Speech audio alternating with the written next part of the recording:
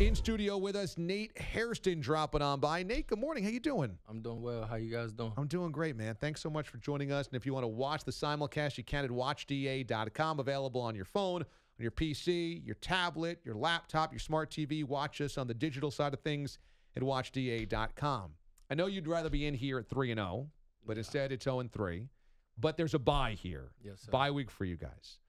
Good time to be able to get away and decompress and not have to think about football maybe this weekend? Most definitely. I know normally you want your bye weeks later in the season, but um, seeing how we got a, a start to the season, it gives everybody a chance to rejuvenate. Guys that are injured, chance to you know get back healthy and, and get back on the field. So we're excited about having the early bye and getting back to work next week. You guys lost Sam Darnold after week number one to mono. Have you guys had any contact with him, or do they have to keep him away from the facility? Uh, yeah, he was quarantined a little bit. Um, Yeah. he, he's back in the building now. He's back good. in meetings, so that's positive, and, and hopefully we'll get him back up and going. Because that's a tough part. After week number one, you lose your starting quarterback, then you lose your second string quarterback in the middle of that game, and now you're kind of scrambling Yeah. down 0 and 1, now 0 and 2, 0 and 3. So just knowing you can get Sam back, that must give you guys a little bit more of a charge going forward. Yeah, most definitely. Just having him back and, and having him back healthy, that that's good, and um, we're excited about that. So, like I said, bye week came at the perfect time to, to get guys back up and running.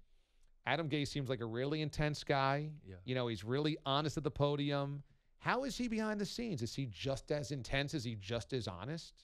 Um, he is man. He he he he shoots us straight. He lets us know what it is. It's the NFL. You know, your record. That's what you are. It's no, you know, it, that's that's what it is. So he keeps it a hundred with us and lets us know. But he also is positive. He we have the right guys on the roster, and he reiterates that to us and and lets us know what this team can be. But it goes hand in hand, being honest and, and being positive at the Yeah. same time.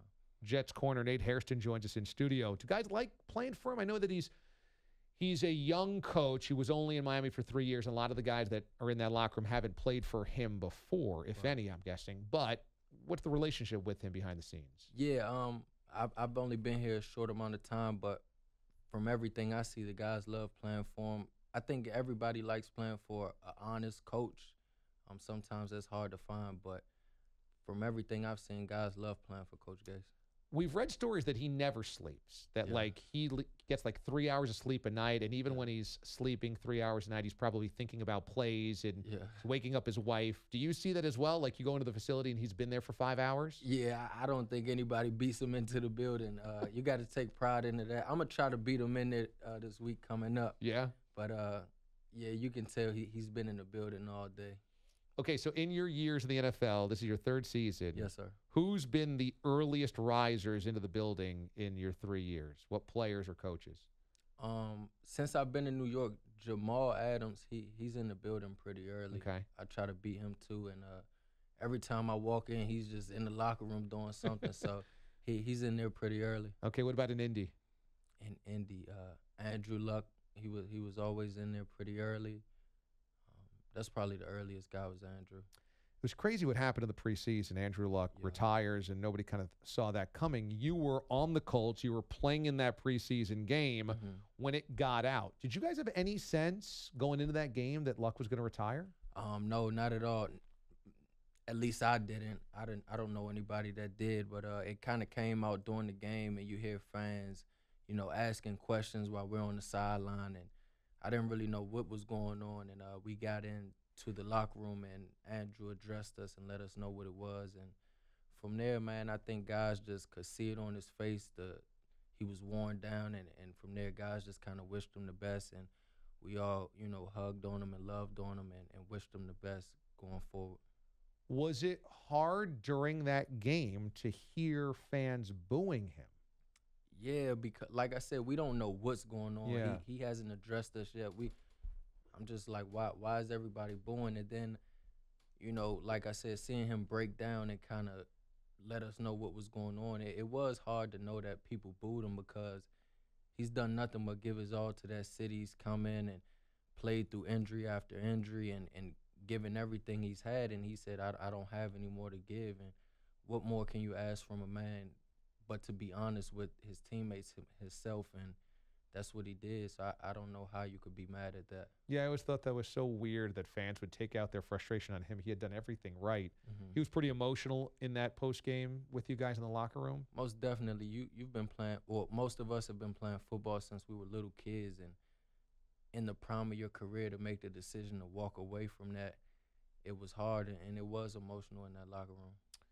Did everybody in that locker room respect Andrew Luck's decision because they had seen him put in the work beforehand? In other words, did he have a pretty good relationship with everybody in that locker room? Yeah, he had a great relationship. Um, anybody that works hard, I feel like guys gravitate towards it, and that's what Andrew was. He was a hard worker, and um, so you know, guys just tended to like him, and uh, it, yeah, it, it was tough. He also seemed like a quarterback that was one of the guys. I Mhm. mean, he didn't mind getting physical. He didn't mind sticking his fin- his his nose in things. He didn't mind taking a pounding, being a leader. Yeah. You know, and it just seemed like it was an easy guy to follow if he was the quarterback. Was that the case? Most definitely, he he was even though he was a first round pick and a number one overall pick, he still had that blue collar feel to him. You know, a lot of guys they they're not like that. He still had that that chippiness about him, the the style of football he played. So,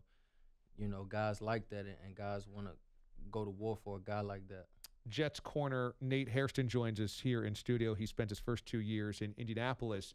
When you get traded, is that an ego hit, or do you go, "Oh, this is cool. Somebody wants me. I want to go play someplace that that I'm wanted." Yeah, I think it just depends on the guy, man. I, I left Indy on a, on a good note. I still love, you know, Coach Reich and GM Chris Ballard, all those guys over there, and uh, it was what was best for Indy. It was what was best for me, and it it, uh, it turned out good. So I'm I'm happy to be in New York, and um they- they're having success over there, and we're going to get it turned around here. So it was good. Really good season for you guys last year, getting to the postseason, obviously, winning that playoff game in Houston.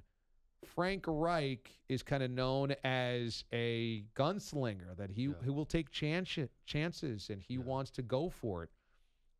What was your experience playing for Frank Reich? Was it, uh, hey, we're going all out all the time. This is cool. Yeah, um, it's kind of it's kind of crazy because he's super mellow and laid back on the field. Yeah. and then he's aggressive. I mean, off the field, and then he's aggressive on the field. So it, it's like kind of a perfect balance. You don't expect that from him meeting him off the field. So I like playing for for Coach Reich. He was a cool guy. So in New York, you know, there's always pressure. There's Mhm. always intensity, the media and the fans. And to start out 0 and 3 is tough. Has it been tough to kind of assimilate into New York and then also hear the criticism about your team and hear the fans and the media get on you while also trying to transition into this market? Um, it, it can be tough at times, but it's my job. You know, I signed up for this. I think the the best thing about it is knowing the kind of team that we have and the guys in the locker room, and knowing that we can turn around, turn it around. When I was in Indy last year, we started off one and five, and ended up in the playoffs and and doing well. So. Seeing that, I think it gives me hope and, and talking to those guys about what we went through last year in that first quarter of the season and letting them know we could turn it around. I mean, you just got to drown out that media and that outside noise and lean on the guys in the locker room and have each other's back and, and go from there. It might feel like a different season had you guys won that game number one, the opening game at home against the Bills, because you really outplayed them for most of that game. Okay. but you didn't end up obviously getting the victory. Was that a tough pill to swallow, knowing that you know you guys had a healthy team at that point coming out of the offseason, and you outplayed the Bills, but you just didn't get the W? Yeah, man. In the, in the NFL, wins are so hard to come by. So when you when you've got someone down, you you've got to pin them down and, and, and finish it. And we didn't do that. So now you know in practice and things like that, the end of practice we we look at that like the fourth quarter, and we know we've got to finish practice on a high note. And you know just working on finishing, man. You have to finish in the NFL. And uh, which we didn't do, and I think we learned from that, and, and hopefully we can apply it moving forward. So Le'Veon Bell has a message for the haters. Yeah. He's saying, "Embrace the hate." Okay, we're, we'll we'll show you guys Right. down the road. What do you think? You guys feel the same way? We do. We all feel feel that way, and I think that's why he said it. It's a message from from everybody on the team. That's how we all feel, and uh, you know, we we we talked about it as a team. And if you don't feel that way, it was you know get out of the locker room. So everyone in there feels that way and, and knows we could turn it around. And we're excited, man, to get back from this bye, you know, fully healthy and ready to go. Lev Bell said, All you haters, enjoy it for now. Just don't go Casper when Yeah. all this gets turned around. We embrace adversity, we embrace the hate, Yeah. and everyone wants to see my team fail or me fail individually. I'll remember, we'll remember it all, and use it and wear it as a badge of honor. Yes. I feel the same way. All right. So we were just talking about this story that Jerry Jones said of Ezekiel Elliott getting Yeah. butt naked and nothing but a towel and spanking the pony and Yeah. getting all fired up, I guess, in the locker room. Is that common? Do we have guys in the locker room that are spanking the pony and crazy like that? I don't know anything about any ponies or, or spankings or anything like that. I, I, I can't speak for that. I, I never seen that, so I, I don't know. But I guess there's something to keep in the locker room loose, right? Is that a thing? Right. Is that an important dynamic? Yeah, I mean, it's a, it's a group of guys in the locker room, and And there's some characters. yeah, it's some characters. So it, it is loose, but like I said, I don't I don't know anything about any spankings or anything like that. So I can't speak on that.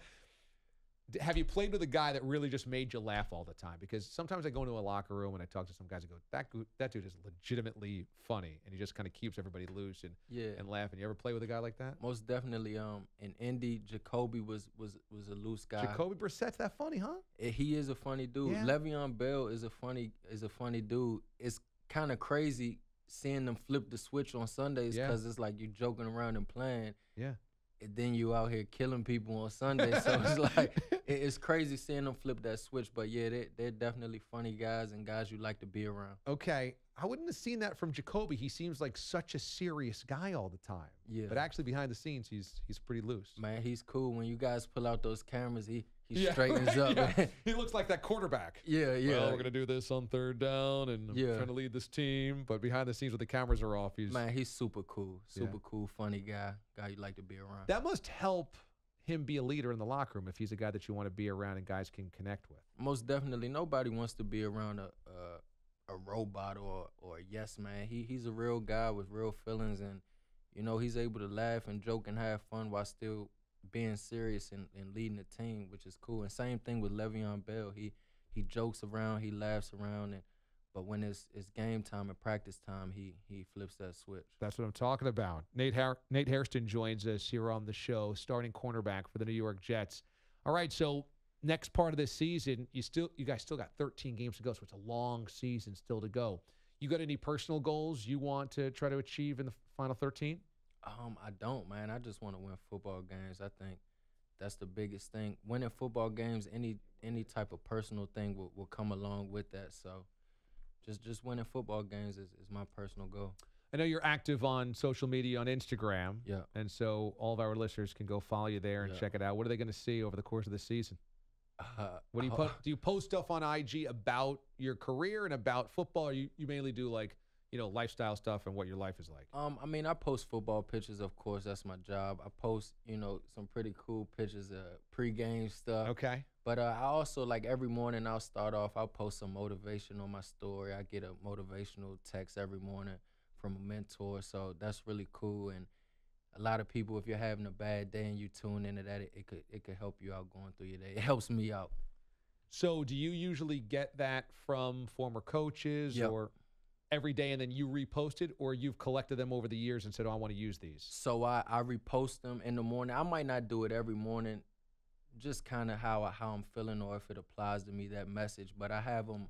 I save them to the highlights so you can always go back and, and check them out and, and and look at them when you're feeling down or, or need some motivation. What I like about your IG page is that the pictures of you are really slick. I mean, they got the lighting down and the filter down, and when you get your shirt off, I mean, you are uh. flexing. You know, all these pictures are like glamour photos. Yeah. So is taking your photos, you got to pay them pay good good fee because they they look really good. Thank you. I appreciate it. I don't know if you're doing the filters on them or somebody else, but I'm not. They just hand them to me and I and I post it. So yeah. so it's at Finessin. Yes, sir. F I N E S S I N. Yes, sir. And how do we get to that uh, handle? Uh, I think uh, somebody just kind of called me that a little while ago, maybe like high school. Okay. Um, that's been my handle for a while now. Yeah. So that was your No. nickname in high school. Yeah, Finessing? Yeah.